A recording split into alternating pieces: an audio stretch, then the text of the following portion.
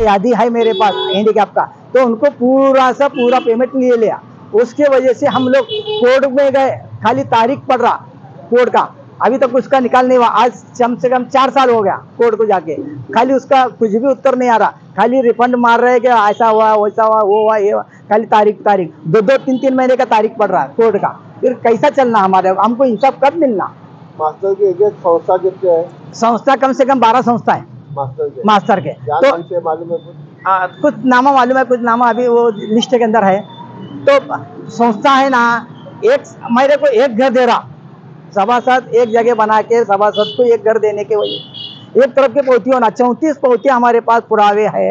चौंतीस जगह हमको पौती सभासद के लिए सर वर्गणी बोल कर लिए सो। है कई की वर्ग लड़ापन। कई का लड़ापन? इलेक्शन का। इलेक्शन का लड़ापन लिया और आंदोलन जो करते हैं उसका लड़ापन बोलकर लिया। और जो गाड़ी सुधा उसके गाड़ के नीचे जो गाड़ी है उसकी जो उन्हें वापरता गाड़ी वो भी हमारे लोग की सौ सौ रुपए गोला करके वो गाड़ी लिया। और- तो कॉन्ट्रेक्टर दिया ऐसा कहना है। कॉन्ट्रैक्टर नहीं हमारे पास पहुँची है ना गाड़ी का। सौ रुपए का पहुँची है हमारे पास। मतलब आपके पास वाहन निधि बोल के वाहन निधि। वाहन निधि हाँ वाहन निधि बोलकर हमारे पास से सौ सौ रुपये लिए है कम से कम एक पचास हज़ार कामगार का कितना पैसा हुआ साहब ये हमारे को खुलासा करना है। ये भी है और जो एक एक आदमी के ने सत्यात्तर हज़ार रुपये उन्हें लिया अठहत्तर हज़ार रुपये गोला किया। एक है सभासद पास? एक सभासद के पास। अच्छा। एक सभासद के पास अठहत्तर हज़ार रुपये गोला किया ऐसा हमारे पास पुरावे आए। एक सभासद जो आप जो बता रहे हैं वो हाँ। घरकुल योजना है? घरकुल योजना। क्या केवल हैंडीकैप नहीं नहीं घरकुल योजना बोलकर है। अच्छा घरकुल बोलकर लिया है हैंडीकैप को उतने लिया और इतर लोगों को भी उतने लिया। कामगार वर्ग आया होटल कामगार आया टेलर कामगार आया, गोंडी कामगार आया। हाँ बिगारी कामगार, हर कामगार को भी उतने लिया। किसी को बख्शे से नहीं है। किसको भी बख्शे से नहीं होने हर कामगार को उतना एक अठहत्तर हज़ार रुपये लिया लिया, एक एक सभासद के पास से।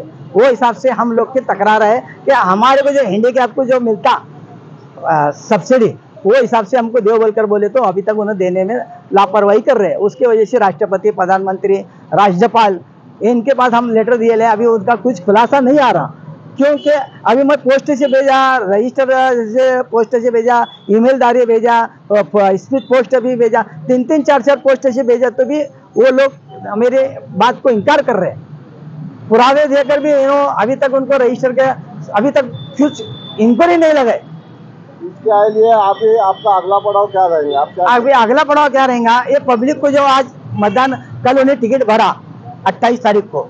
28 तारीख को उन्होंने इलेक्शन कैसे उन्होंने आमदार के निधि, आमदार के ठहरने के लिए उन्होंने जो फार्म भरा है, वो फार्म ना ये होते हुए उनको पब्लिक ने जो सभासद है, पूरे पचास हज़ार सभासद है, वो सभासद जरा इंक्वायरी करो।